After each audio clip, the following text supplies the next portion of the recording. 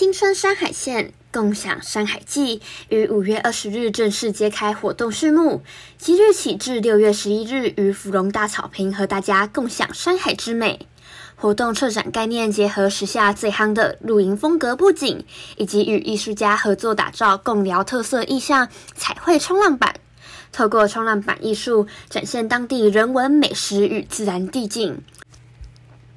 开幕仪式中展示与在地新空城艺术村艺术家合作的彩绘冲浪板，以共聊受欢迎的水上运动冲浪为发想。利用鲜艳色彩和特色图案来呈现共寮人文美食与自然地景，其中包含青春山海线范围内知名的淡蓝古道景点虎子碑、海女采集石花藻、共寮包、山药及芙蓉便当等，并借由自行车环绕景点的意象，将五块冲浪板串联成一幅专属共寮的大型风景画。在开幕仪式时，由新北市政府副市长谢正达与多位贵宾一同提起画笔，共同完成串接着整幅图画的自行车道，正式宣告青春山海线共享山海季活动开始。新北市谢正达副市长表示：“这一次是我们第一次来在尝试的用比较长一点的活动期间，呃，从五二零一直到六月十一号。”呃，连续四周来办理我们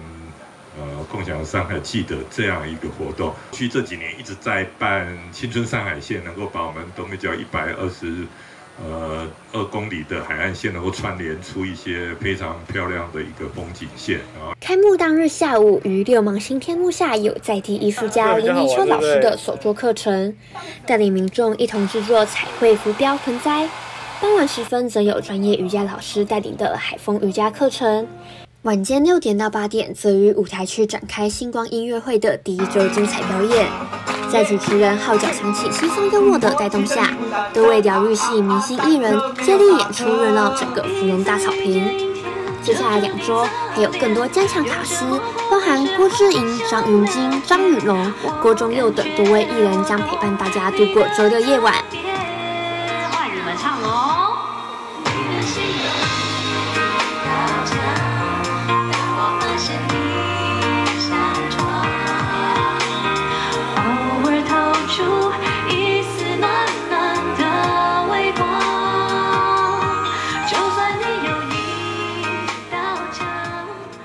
是以野餐露营风为基础来带出共寮的在地特色。那周末呢也有我们的手作市集，然后也有一些文创的东西跟体验课程，然后还有限时的几张活动。现场呢有我们结合在地的艺术家创作的冲浪板，可以供民众们还有大家来玩的时候可以来拍照哦。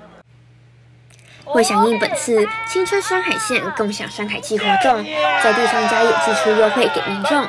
活动期间出示青春山海线共享山海季活动集张卡，即可享有店家专属房价优惠。公民记者蔡宗和、李思宁、高维成，新北市贡寮区采访报道。